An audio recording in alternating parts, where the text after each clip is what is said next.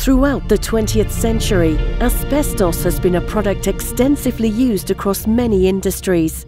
It was an easily obtained material that presented numerous applications in different sectors iron and steel industry, automotive, shipbuilding and aeronautics, chemical industry, construction and building services, electrical industry, and textile industry.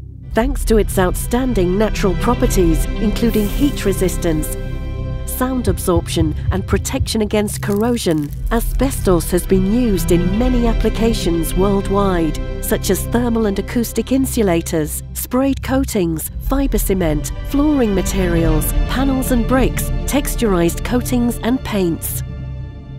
However, as the years went by, the relationship between asbestos exposure and certain very serious irreversible respiratory diseases became apparent. Consequently, authorities began to prohibit both the extraction of asbestos and its use. At present, a great variety of products contains asbestos because they were installed prior to asbestos prohibition in Europe. It's believed these materials do not pose a risk as long as they remain encapsulated or undamaged and do not release inhalable fibres to the environment. Inhaled fibres deposited in the lungs over time can cause serious diseases such as lung cancer, asbestosis, malignant mesothelioma, or benign pleural pathology. These diseases can occur decades after inhalation which together with the small size of the fibres, not visible to the human eye, can limit the perception of risk associated with exposure to asbestos. In 2009, the European Directive 2009-148-CE came into force. This concerned the protection of workers against the risks related to asbestos exposure during work.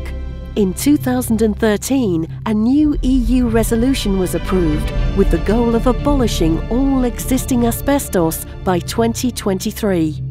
Existing methods for detecting asbestos fibres in the environment involve air sampling and the capture of airborne fibres onto filters. These filters are subsequently analysed in the laboratory where microscopy is used to count any fibres present and X-ray analysis used to determine if the fibres are asbestos. These processes can take from hours to days to complete. Up until now, there's been no method of quickly detecting the presence of airborne asbestos fibres and therefore no way of protecting workers from unknowing exposure to asbestos.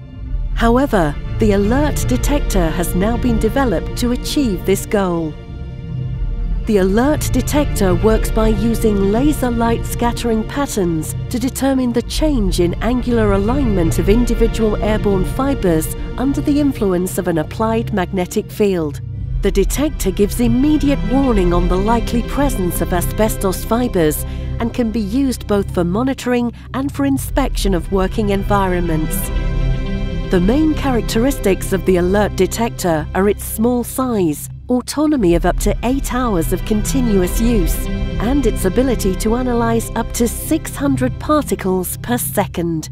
Alert is an affordable device, the first in the world for the real-time detection and monitoring of airborne asbestos fibres. It's specifically designed to minimise the risk of inadvertent exposure to airborne asbestos in the work environment. ALERT project has been funded by European Commission's 7th Framework Programme.